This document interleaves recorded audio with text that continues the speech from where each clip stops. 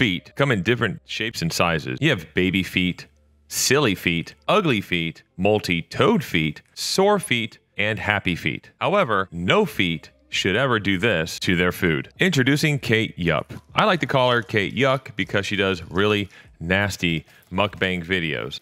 And the nastiness factor was definitely turned up on this video in, here in particular. First observation I like to make as this video plays is how dirty her feet are.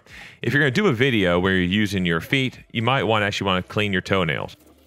Now, I did a short video on her a little while back, and I got some comments on her about being kidnapped and stuff like this. So here's some of those comments. Kate Yup is kidnapped. She did do a help Morse code, need help, or she's not kidnapped and doesn't need help.